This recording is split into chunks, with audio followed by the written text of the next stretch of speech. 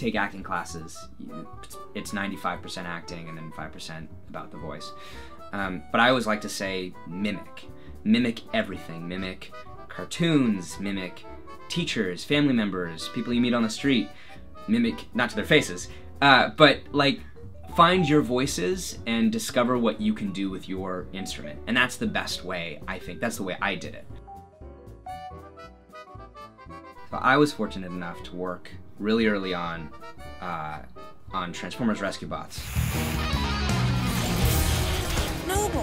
Which was an ensemble record with some of the greats. You know, there was Maurice LaMarche, and uh, you know he's the voice of the Brain, and half the voices on Futurama, and um, I got to work with Steve Blum, and Mark Hamill would come in, and what? So crazy! There are too many people to say just one.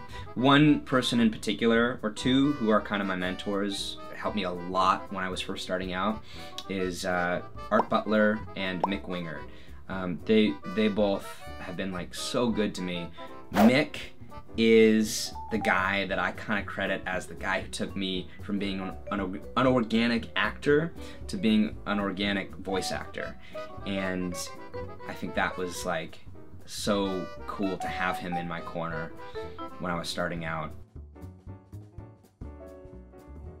It there's no magic to it it's just hard work and i think that's how i consistently am able to book work is is i i treat every audition like it's the big audition. Hey daddy-o welcome to the atom cats the coolest club in town. And maybe that comes back to bite me in the butt sometimes like maybe i spend too much time on an audition but i care. I care about what i do. I have fun with what i do and i want people to know that that this is you know this is what i've i dream of doing you know as a career and and if that's if I want to make this my career for the rest of my life, I know the kind of work I need to put into it.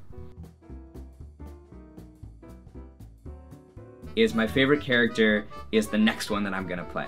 And it's true. It's like what I look forward to most is like that first day on the job when you're creating that character, when you're working with the director to to mold that character and, and explore who that person is that's always so fun for me. Um, but my favorite character.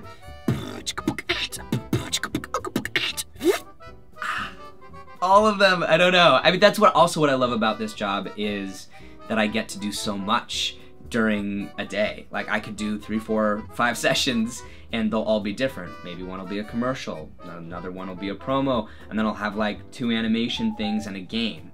Like you could have a day like that, and you could be playing yourself, an old person, uh, uh, you know, a dragon, whatever it is. And I love that about this job is that there's so much variety, and you get to spice things up so much.